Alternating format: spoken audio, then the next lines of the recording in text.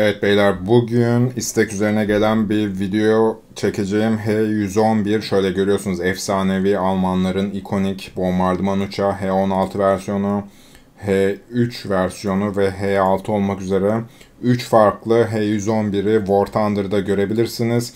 Bunlar arasındaki farklar neler hemen söyleyeyim. H-111, H-3 ilk versiyonu şöyle görüyorsunuz. H-6 ise daha çok torpido, şöyle iki tane torpido daha çok gemileri avlamak için tasarlanmış. Fakat H6'da şu özellik de var. Şöyle görüyorsunuz. Fritz X diye güdümlü bir bombası var. Özellikle tank savaşlarında. Bu güdümlü bombası iş yapıyor. H16 ise son versiyonu. Onda da en yüksek olarak 2500 kilogramlık bombaları taşıyabilen tek uçağı H16 ve beyaz renkli custom kamuflajları da var. Fakat kendi kamuflajları şöyle görüyorsunuz gerçekten çok güzel, yeterli bence kendi kamuflajları. Biz bugün H16 ile oynayacağız. BR'larını da görüyorsunuz. 2.3, 2.7, 3.0. 3.0'da zorlanırsınız. Karşınıza 4.0'lar da çıkar. Ben hemen savaş aramaya başlayayım. Şimdi gireceğiz zaten. Saatte 432 km bölü saat ki bombadan dolayı 13 km bölü saat. Ee, daha az olacak. Turn time zaten önemli değil bombardıman uçağı olduğumuz için. Fakat savunmalara bakar mısınız? 20 mm'lik tareti var. Diğerlerinde bu yok. 20 mm'si H-16'nın savunma sistemleri daha iyi. Malta'da başlıyoruz. Bizim için kötü fakat tarihsel olabilir. Evet başlayalım. Yine savunma sistemlerini deneyim. 13 mm'lik bir adet tareti daha var. Kalan taretleri 7.92 mm'lik taretleri fakat bir tanesi 7.92'liklerden iki çift namlulu. Bu arada 2 saniye yaptım. Diğer mühimmatları da bu şekilde seçiyoruz. Evet. Başladık. Bakalım şuraya izin verecekler mi? Sanırım Sovyetlerleyiz. Evet Sovyetlerleyi Sovyetlerle oynayacağız. Karşımızda Amerikanlar ve İngilizler olacak. Nispeten tarihsel diyeyim. Şöyle tırmanışa geçtim. Arkamda da görüyorsunuz. Bakalım bizim takım nasıl. Evet E3 var. Çok güzel. Ya 2.3'te E3. Yani biz down tier olmuşuz. Bizim için güzel bir şey bu. Ben direkt aa, bu tarafa gidiyorum. Bu uçağın motoru çabuk ısınıyor. İşte sorunu bu. Aa, çok çabuk ısınıyor motoru. Hatta şöyle gideyim. 3600 metrede tarafa doğru gidelim. Çok fazla oynamadım ama şu bombanın büyüklüğüne bakar mısınız? Şöyle göstereyim. Yani 2500 kilogramlık bomba taşıyan tek H16, tek H111 versiyonu bu. Özellikle tank savaşlarında gerçekten iş yapabilecek bir uçak, bombardıman uçağı 3.0 tank oynarsanız görüyorsunuz bir yarında 3.0 üzerinde tank savaşlarında tercih etmeyin bu uçağı çok da iyi değil. Doğu 217'ler var. Onları tercih edebilirsiniz. Ve bunun da 2.7 versiyonu olan H6'da güdümlü mühimmat dahi kullanabilirsiniz. Bu arada motor ısındı. Şöyle kapatayım. Hemen soğuyor motoru bu arada. Hemen soğumaya başlıyor. Bu arada sol tarafı bıraktılar bize. Güzel.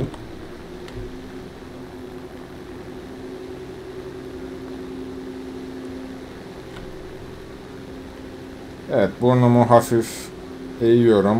Bomba kapaklarını açmama gerek yok. Farklı bir mühimmat alsaydım aa, bomba kapaklarını açmak zorundaydım. Sadece içine alıyor. Yani düşük ağırlıktaki bombalardan bahsediyorum elbette. Şöyle bakalım. Bu arada kokpitin içerisini göstermedim. Simülatörde oynuyorsanız çok güzel kokpitin içerisi. Şöyle görüyorsunuz. Oyundan çıkınca da Wikipedia sayfasında bakalım ne kadar üretilmiş, kimler kullanmış. Biraz kısa bir araştırma yaptım. Onlara da bakarız. Evet şu P38 bize geliyor direkt.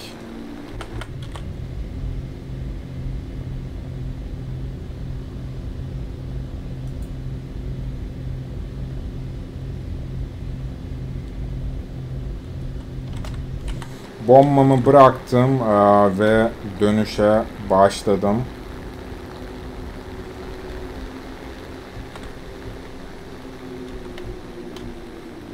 Bombanın girişini de izleyebiliriz.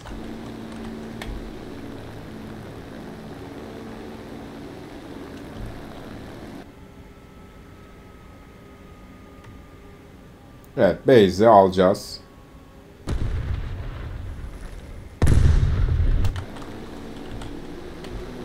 Güzel, tek atışta aldık. 4 tane base olanlarda daha iyi olacaktır elbette.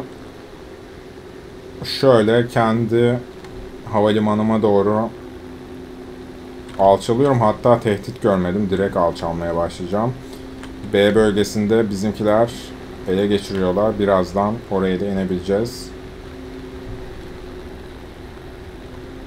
Evet çok hızlı alçalıyorum.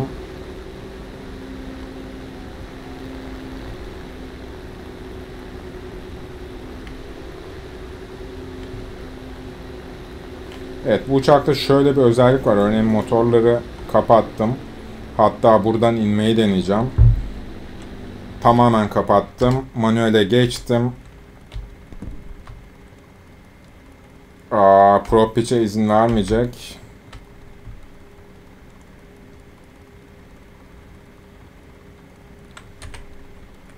Evet, prop feathering yapıyorum şu an.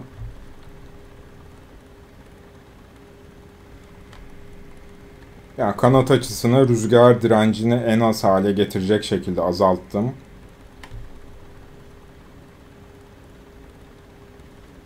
Tamamen motorlar kapalı. Şöyle içeriden de bakabilirsiniz göstergelerden.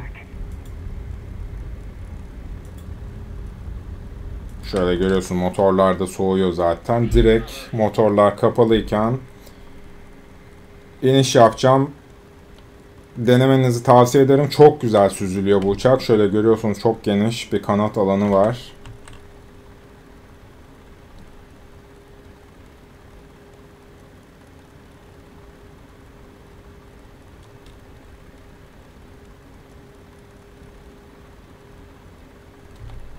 Evet.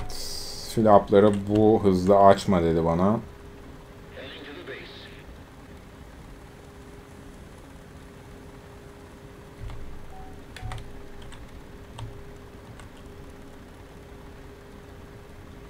Şu an motorlarımın tamamı kapalı. Sıcaklıklardan da görebilirsiniz.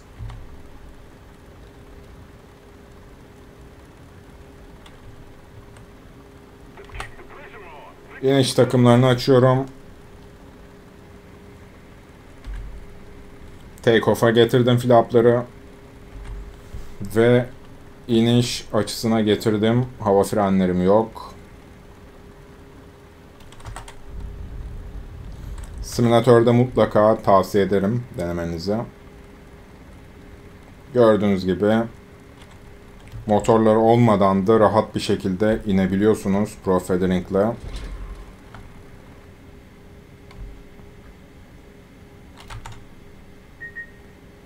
Bu şekilde kullanabilirsiniz.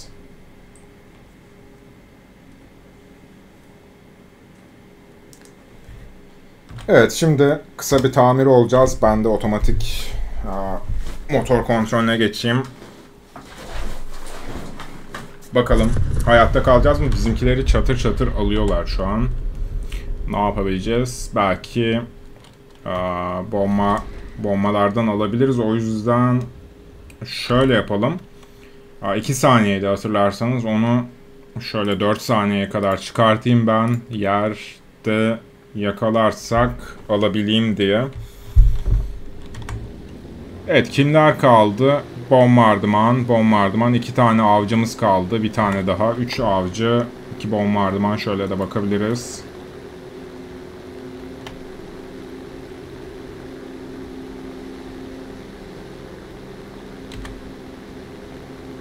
Take off flapları açtım.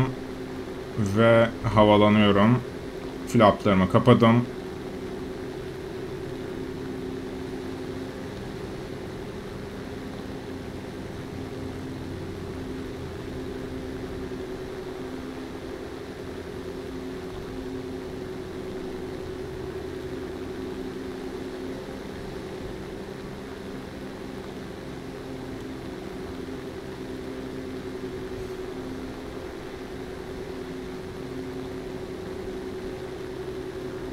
Evet bizim F190 çakıldı sanırım.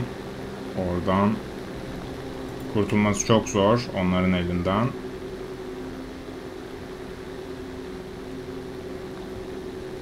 Evet öldü. Ben kendi üzerime çekeceğim hedefleri. Bakalım bombayla alabilecek miyiz? Ve şu görüyorsunuz 20 milimetrelik bir adam duruyor. Şu altta da çift namlulu. Yan tarafta da çift namlulu var. Düzeltiyorum 20 milimetrelik öndeymiş sadece. Çok gereksiz bir yerde.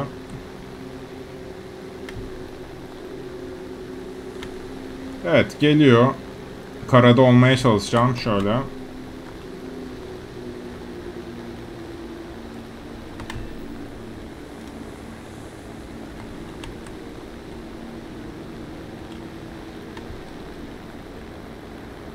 Bakalım aa, iş yapabileceğim mi?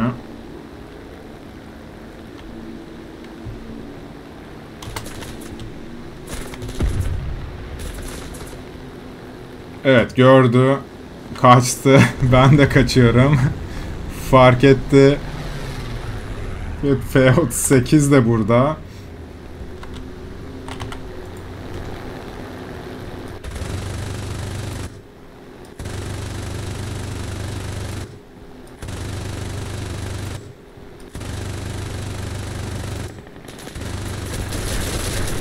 Evet ne varsa atıyorum. Fakat aa, sanırım Gunner'ımı vurdu. O yüzden çok rahat bir şekilde aldı. Eğer görmeseydi bomba da çok büyük bu arada görülmeyecek gibi değil. Evet hangara dönelim. Yarım saat sürebilir. Benim bug'ımdan dolayı bir türlü yeni bilgisayarda da böyle bir türlü düzelmiyor. The Old Guard 2013'ten beri oynadığım için şurada The Old Guard yazıyor. Evet bekliyoruz. Dönelim. Hatta dönerken biz şuradan Wikipedia'dan bakalım. Hey 111 örneğin 1935'te tanıtılmış. İşte ilk uçuşunu yine 1935'te yapmış. Introduction üretilmeye başlanmış. 1935'ten 1944'e kadar 6508 tane üretilmiş. Heavy Bomber dediğine bakmayın aslında çok da bir ağır bombardıman uçağı değil. Almanların benim bildiğim ağır bombardıman uçağı bir tek FV-200 var savaşta etkin olarak. O da oyunda da var zaten. Görüyorsunuz şöyle. 6500 tane üretilen ikonik bir uçak bu. Tasarımı çok güzel. Şöyle farklı versiyonları. Keşke şu H1G gibi farklı versiyonları da olsa. H versiyonu yerine. Ki varyantları birazdan versiyonlarını göreceğiz. Şöyle biraz daha alta iniyorum. Yine torpido atan, yine formasyon uçuşunda olanlar var. Hatta şöyle V1 bombası taşıyan H-16 bile var. Bir, bizim uçtuğumuz uçak. Şöyle de görüyorsunuz M 321 gliderlarını yani bunlar uçak değil aslında. Glider uçakları. Yani gliderlar onları da taşıyor.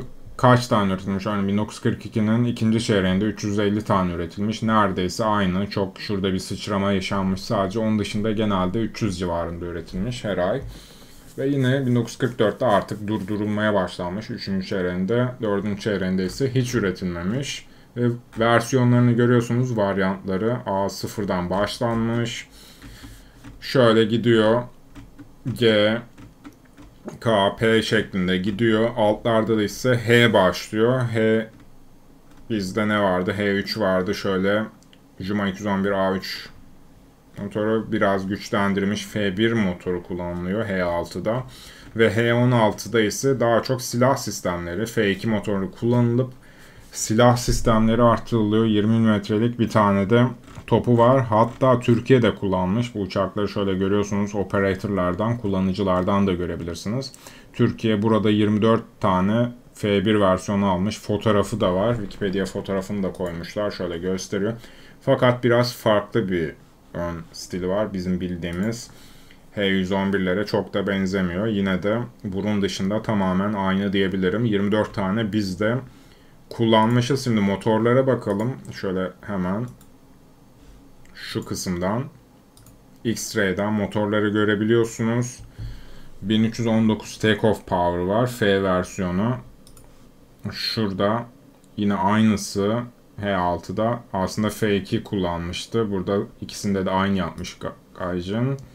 Burada da D versiyonu biraz daha düşük motoru 1193 takeoff power'ı normal 932. Bu da 1120 beygir gücünde 12 silindirli motorlar su soğutmalı. Gördüğünüz gibi yakıt depoları burada. Bu şekilde mutlaka size tavsiyem bu uçağı simülasyon oynuyorsanız, simülatör oynuyorsanız yani şu versiyonda oynuyorsanız deneyin. Çok keyifli bu uçak. H111'ler, ikonik uçaklar. Evet, H111'ler hakkında anlatacaklarım bu kadar. İyi bir bombardıman uçağı. Bu bombardıman uçaklarıyla diğer Alman avcılarını hızlı bir şekilde açabilirsiniz. Yani şuradaki uçaklarla diğer uçakları fighter kullanmadan rush yaparak doğrudan bomba base'lere bombalayarak base'lere dalarak açabilirsiniz. Bu şekilde kullanabilirsiniz ki repair cost'u zaten benim de premium yok. Nispeten düşük. Yaklaşık 3000'lik bir repair cost'u var. Bunu da belirtirim. Bir sonraki videoda görüşmek üzere.